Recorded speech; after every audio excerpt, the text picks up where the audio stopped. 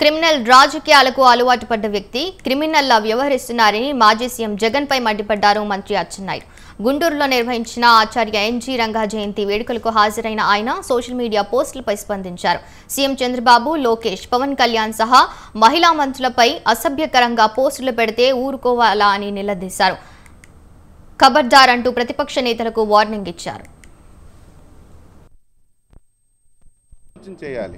ఐదు సంవత్సరాలు ఈ రాష్ట్రంలో దమనకాండ చేశావు. ఏ వర్గానికి ఏ ప్రాంతానికి ఏ వ్యక్తికి విడిచిపెట్టకుండా ఐదు సంవత్సరాలు నువ్వు ప్రభుత్వంలో చేసి ఈరోజు భావస్వేచ్ఛ అంటే చెప్పవయ్యా? ప్రభుత్వం తప్పు చేస్తే చెప్పు.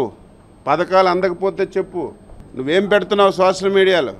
కుటుంబ సభ్యుల మీద అసభ్యకరమైనటువంటి పోస్టులు పెట్టి ఆడవాళ్ళు బయటికి తిరగలేనటువంటి పరిస్థితులు తీసుకొస్తే ఈరోజు యాక్షన్ తీసుకోవడం తప్ప విడిచిపెట్టే ప్రశ్నే లేదు. ఇంతవరకు ఓపిక పెట్టాం సహనం పెట్టాం. మార్పు వస్తుందేమో అని చెప్పి అనుకున్నాం. దొంగే దొంగ అన్నట్టుగా.